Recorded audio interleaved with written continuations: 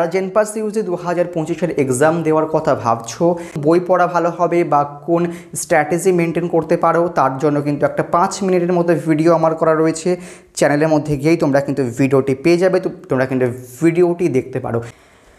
আমি পূর্বের দুটি ভিডিওতে তোমাদের জানিয়েছিলাম যে জেনপাস ইউজি দু হাজার চব্বিশের রেজাল্ট দশই আগস্টের মধ্যে প্রকাশিত হতে পারে, কারণ প্রিভিয়াস ইয়ারগুলোর অ্যানালিসিস দেখে এটাই মনে হচ্ছিল। But West Bengal joint entrance বোর্ডের কার্যকলাপ দেখে এখন এটুকু মনে হচ্ছে যে দশই আগস্টের মধ্যেও রেজাল্ট আউট নাও হতে পারে। এখন কবে রেজাল্ট আউট করা হবে সেটা ওয়েস্ট বেঙ্গল জয়েন্ট এন্ট্রান্স বোর্ডই ভালো জানে। সেটা এগারোই আগস্ট হতে পারে, বারোই আগস্ট হতে পারে কুড়ি আগস্ট হতে পারে। তাই এখন আর আগে থেকে প্রেডিক্ট করা সম্ভব হচ্ছে না যে কবে অ্যাকচুয়ালি রেজাল্ট আউট হবে।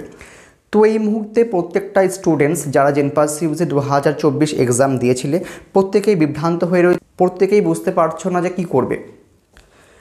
তো এখন চুপচাপ বসে না থেকে তোমরা হয়তো অবশ্যই জানো যে তোমরা কত মার্কস পেতে পারো। কারণ অলরেডি অ্যান্সার কি তোমরা মিলিয়ে নিয়েছো প্রভিশনাল অ্যান্সার কি দেওয়া হয়েছিল ওএমআর রেসপন্স দেওয়া হয়েছিল সব কিছুকে তোমরা ভালোভাবে মিলিয়ে নিয়েছো এবং তোমরা মোটামুটি একটা প্রেডিক্ট করতে পেরেছ মার্কস আসতে পারে সেটা কিন্তু তোমরা প্রেডিক্ট করতে পেরেছ।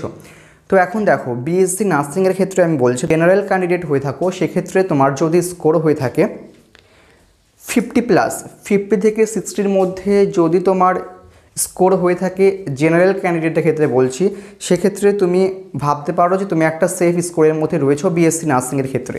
তারপর ওবিসি এসসি এসটির ক্ষেত্রেও মোটামুটি চল্লিশ থেকে পঞ্চাশের মধ্যে যদি তোমার স্কোর থাকে, তাহলে তুমি এটুকু ভাবতে পারো যে সেফ স্কোরের মধ্যে রয়েছো। প্রথম থেকেই এটু, এটা ভাববে না যে কাট অফ খুব লো যাবে। এবছর কিন্তু কাট অফ একটু হাই যেতে পারে। সেক্ষেত্রে বিএসসি নার্সিংয়ের ক্ষেত্রে জেনারেল স্টুডেন্টসরা যদি ফিফটি থেকে সিক্সটির মধ্যে তোমার স্কোর এসে থাকে, তাহলে তুমি মোটামুটি ভাবতে পারো যে তুমি একটা সেফ স্কোরের মধ্যে রয়েছো। প্যারামেডিক্যাল কোর্সের ক্ষেত্রে বলছি প্যারামেডিক্যাল কোর্সে যেহেতু সিট অনেকটাই কম রয়েছে বিএসসি নার্সিংয়ের তুলনায়, সেক্ষেত্রে তুমি যদি জেনারেলের স্টুডেন্ট হয়ে থাকো জেনারেল স্টুডেন্ট হয়ে থাকো, সেক্ষেত্রে সিক্সটি থেকে সেভেন্টির মধ্যে যদি তোমার স্কোর থেকে থাকে বা সেভেন্টি প্লাস যদি হয় আরও ভালো, সেক্ষেত্রে তুমি আরও ভালো কলেজ পাবে। তো মোটামুটি সিক্সটি থেকে সেভেন্টির মধ্যে যদি তোমার স্কোর থেকে থাকে, তাহলে মোটামুটি তুমি একটা সেফ জোনের মধ্যে রয়েছো।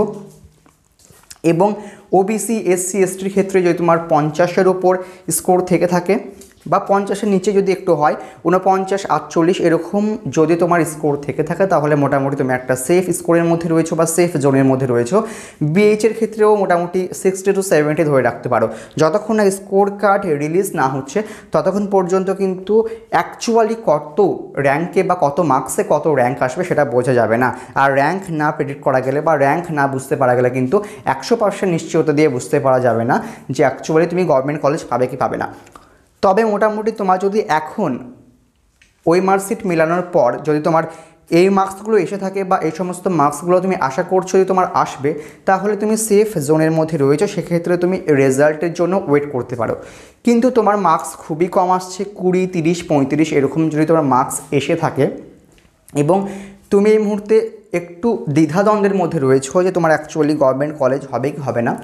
এবং তুমি যদি ভাবো যে তোমার দু হাজার পঁচিশের জন্য যদি তুমি প্রিপারেশন নেবে, তাহলে আমি বলব তুমি রেজাল্টের অপেক্ষায় বসে না থেকে দু হাজার পঁচিশে জেনপাস ইউজের জন্য প্রিপারেশন শুরু করে দাও। তুমি অনলাইন থ্রু করতে পারো বা অন্য কোথাও যেখানেই পড়বে, সেখান থেকে তুমি শুরু করে দাও।